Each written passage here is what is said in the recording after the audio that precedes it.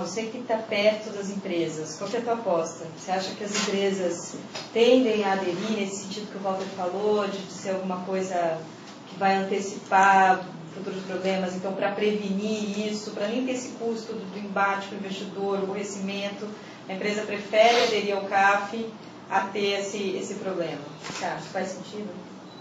Bom, antes só um comentário, acho até que o seu convite, de certa forma, foi uma surpresa para mim, porque evidentemente eu não estou aqui na, na mesma página né, de vocês, como costumam dizer, exatamente porque eu não, não, não participei ao longo desses mais de dois anos, né, Nelson, que vocês todos vêm, vêm trabalhando nisso, vêm discutindo. Claro que eu, eu acompanho e converso com pessoas de mercado, a gente sabe, uhum. né, a gente sabia de todos os movimentos, mas é, é fato que é, assim, o próprio.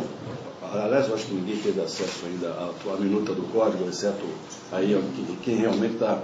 Claro que do ponto de vista jurídico é, e do ponto de vista de mercado, né, só fazendo um comentário antes, não há dúvida que é, não, há, não há nenhuma companhia, não há nenhum segmento que não queira que o CAF seja uma, uma, uma realidade muito rapidamente. Né?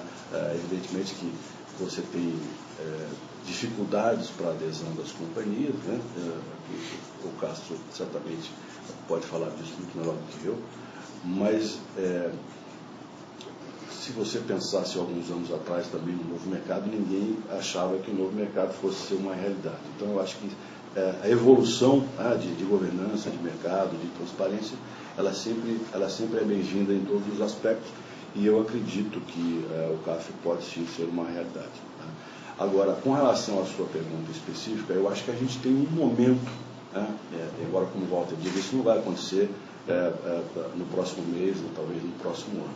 Nesse momento exato, na minha, na minha visão de mercado, enfim, sou muito mais próximo de M&A até do que é, de, de, mercado de capitais propriamente dito, mas as, as coisas acabam acontecendo é, juntas, né, em, em alguma medida. Acho que a gente tem um momento complicado para a adesão, é, especialmente porque se você considerar, existe, ah, em função dos vários IPOs que nós tivemos em 2007, 2006, enfim, nesses anos áureos né, das aberturas de capital, de capital, a gente tem um movimento hoje que decorre da, do próprio mercado de alguns fechamentos de capital e vão ocorrer outros. É, a, gente, a leitura que a gente tem é que naturalmente algumas ações que estão sendo é, é, negociadas com muito desconto, algumas situações que, acabam, que acabaram ocorrendo em decorrência do próprio mercado, que não tem nenhuma relação com governança, ou se tem controlador, ou se não tem. Então, é, é claro, as que não tem, isso não vai ocorrer. Mas a gente vê esse movimento, e vocês, evidentemente, acompanham também.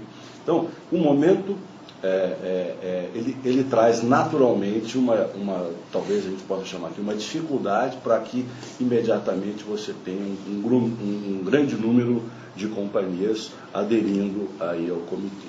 Por outro lado, a gente vai ter também, e, isso vocês sabem melhor do que eu, é, é, muita, assim, é, um segmento muito grande de companhias, eles vão prestigiar ou, ou gostam mais da ideia do comitê independente, que é o projeto americano de, de ser.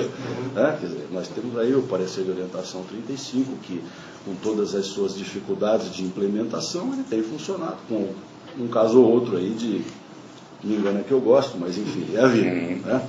A gente sabe como, como as coisas acabam acontecendo no mercado. Mas eu tenho ah, a mesma sensação ah, do Walter de que é uma questão temporal. Eu acho que o mercado vai ter que assimilar vai ter que trabalhar com isso, vai ter que achar necessário realmente ter o selo, né? porque no fundo, é, é, todas as grandes questões, pelo menos as conhecidas, eu acho que o Nelson, quer dizer, eu estou falando Nelson como o relator aqui, mas todos vocês endereçaram todos os, os grandes as grandes questões que a gente tem de mercado, as questões de partes relacionadas, das, das avaliações, né, quer dizer, é, a, a, duplicidade de, de ofertas né, dentro do mesmo, do mesmo processo, são coisas que a gente tem, a gente vive aí no dia a dia. Mas eu, é, é, longe de, de, de, de, ser cético com isso, acho que a minha visão é um pouco assim. O momento, não só pela questão que naturalmente é, vai demandar para que o mercado comece a olhar isso, é, é, eu acho que a gente tem hoje um, um, um ambiente um pouco, vamos dizer, é, desfavorável. acho que talvez, por conta dessa questão.